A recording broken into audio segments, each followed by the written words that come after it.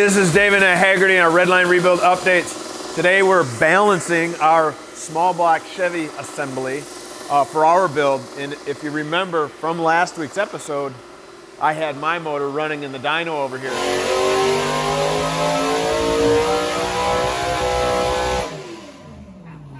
So kind of back a week later, it's, it's pretty cool. By no means is this small block gonna make the power of that small block, but at the same token, I do want it to run smoothly. There's lots of questions out there oh my God, why are you putting so much time and effort into this small block? Well, I'll tell you what, I don't want it to come apart and the devil is in the details. So I like to go through and balance it for the price of a balance. I mean, the factory rods are within what, 14 grams? And that's a lot, by the way. That's a big spread. We want them down to basically exactly the same. Motor runs smoother. The Motor will not hammer out the bearings over time. And uh, I mean, that, that it's needed. I, trust me, been there. I've wiped stuff out before. So right now he's, uh, John's going through and taking the big end of the rods and grinding off the weight pad to make them the same weight. So you have a rod end that has, you got your small end and your big end, and on the balance beam over here, you scale that and you measure individually the big end and the small end and you make them all match. That makes a balanced rod. That's the starting point.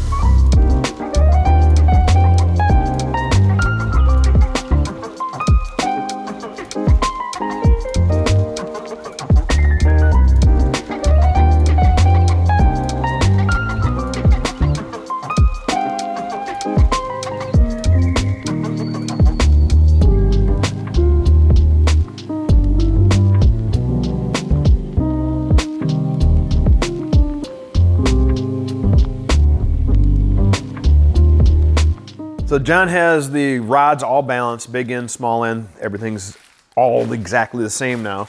And now we're moving on to measuring just the rings. So you want to know what the weight of the ring pack is going to be on each piston. And then likewise, you also include in your bearing because that's part of that rotating assembly piece. And then we'll move on to the pistons to get our bob weight, which applies to balancing the crank. to bland, applies to balancing the crank. Wow. Thought you were a professional. Butchered the hell out of that, didn't I? This assembly is referred to as the bob weight, and it's going to represent the weight of the rod and piston assembly, including the rings and the bearings and the wrist pins. So when you go to spin the crankshaft, obviously you can't have the rods and pistons flinging around madly, but you control it with this bob weight. So now that we know all the weight and we have the bob weight set, that bob weight is attached now to the crankshaft and now we can spin the crankshaft.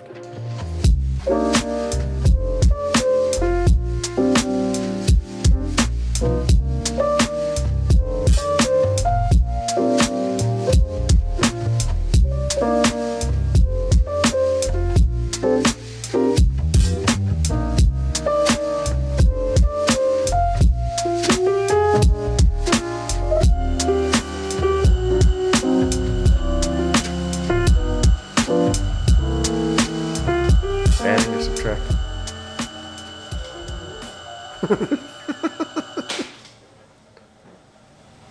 So that's in grams, but it's off a long ways. 140 Oh, that's, on each end. Oh, I yeah, because I'm on the 10 scale. oh, oh, oh, yeah, yeah. Well, that's gonna. You're gonna get a cool video today.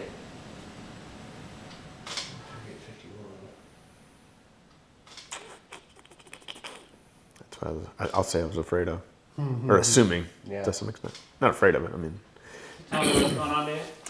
so because the um, hyper eutectic pistons are a little bit, well, a fair amount heavier than the cast stock cast pistons, we're going to need to add weight to the counterbalances to offset that bob weight of the piston flinging.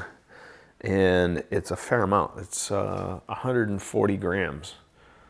Um, so that's where heavy metal rolls in, also known as tungsten. So now that we have a number that we need to add to our counterweights, which is the 140, John has the crankshaft over here in a very specially and well used uh, clamp, I'll say, uh, over on the mill. So from there, John, I know we're adding tungsten or Mallory. What? How are you going to do this? Tell me, and tell me why you're here opposed to here. So what we're gonna do is we're gonna take this piece of Mallory, we're gonna drill and ream a hole right here where it says it wants that 140 grams. Um, and we do it this way because centrif- centrifugal force, put it in this way, it could come out. Okay. So you leave material on the, since you're inset into the throw, they'd have to blow the crankshaft Yeah, would have apart. to pull the whole Yeah. counterweight of the Okay. crank off of it to, to be a problem. Right. Or if it was loose, I mean, it could work in or out, but that's where the press fit and tack weld come into play. Right. so. Okay. All right. So drill and ream. So you got a perfectly sized hole, get it as tight as possible, Yep. without distorting the daylights out of everything Yes, as well. exactly. Okay. Yep. All right.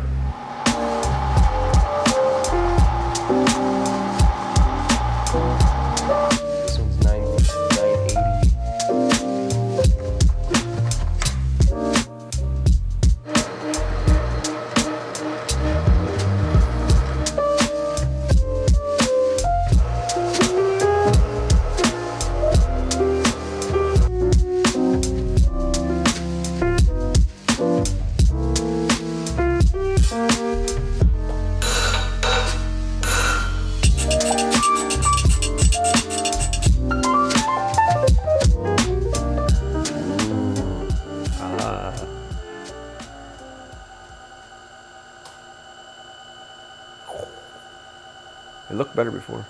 We're uh, way closer, uh, but we still got a ways to go, right? So we're at instead of 140 grams out on both ends, uh, we're at 35 and 17. So and slightly, I think these are different angles as well, right? Yeah, yeah, one's at 25, so it wants 35 grams added right there. Right. Right there, sorry. And then Okay. 17 added there. Gotcha. So we'll just weld in these holes Okay. each end and Right. So in this case, since we don't need to make as big of a jump, we don't need to use the tungsten. add- we don't need to use the tungsten. We can you, you can just it weld. Added expense. Right. The tungsten. Yeah, we're close enough. So wire wire weld in mild steel. Is that what it is? Yep. Okay.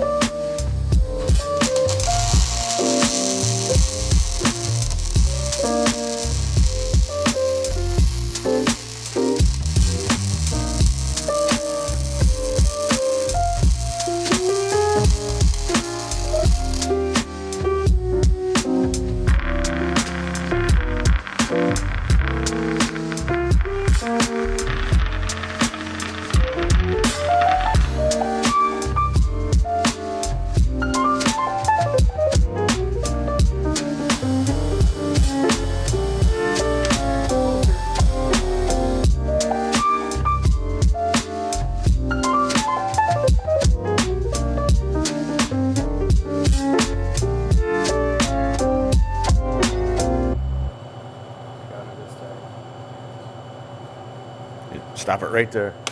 Flashing something different. Nice. Yeah, cool, got it. Zeros. All zeros, buddy. All zeros. Perfectly internally balanced. Right? Yeah. So there is a difference between internally and externally balanced. If we were externally balanced, do, balancing this crankshaft assembly, we would have to have our balancer and our flex plate or flywheel out on the end of this and spin it kind of all at the same time. But given that we're doing internal, we just balance the crankshaft relative to the bob weight. We get zeros. It's kind of the first time in your life you want to be a zero. Uh, I mean, for all intents and purposes. So, crankshaft done. We're ready. Not everything but the cleanup, right? We're gonna dust off the oil it, and all that Make sure jazz. it doesn't get caught. Sweet. And unfortunately, my balancer's not ready yet from coating standpoint, and neither is the flex plate. So I'll send that to you to zero balance it. So meaning you'll spin it, And yeah, I have a special fixture Yep. with flex plates and flywheels and balancers. yeah, just make sure it doesn't have a heavy spot on one end, one side or the other. Like a, truly like a tire. Yeah. So cool. Nice. Well, one big, one big step in our project to be done. So that's good. Good deal. All right. So for those naysayers out there, we'll be able to cruise at 2,500 RPM as smooth as silk. Okay, so here's my rockauto.com tip of the day. We've been to two shops today, one grinding crankshaft, one doing all the engine work and such that we just showed you, and they both had the same thing to say. We need help. So here's my tip. Whether you're getting your looking for your first job or your next career or whatever it may be, there are local shops around you looking for someone like you. All right, well, we've had uh, quite the day here. We, uh, we picked up our crankshaft early this morning, got it over here to Apex, and uh, the crankshaft balance wise, we've covered all of our bases and everything that may or may not need to be done to the crankshaft to get it balanced. We added weight, we cut holes, we welded up holes, and we ground on the edge. But at the end of the day, we have a perfectly balanced rotating assembly now.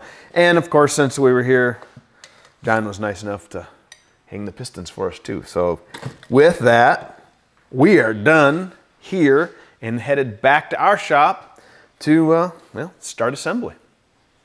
So with that, you know the drill. Get out in your shop, get your work done. And oh, by the way, if you want to see a really cool engine, go back to the last episode and check out the dragster motor. See ya. Shameless plug.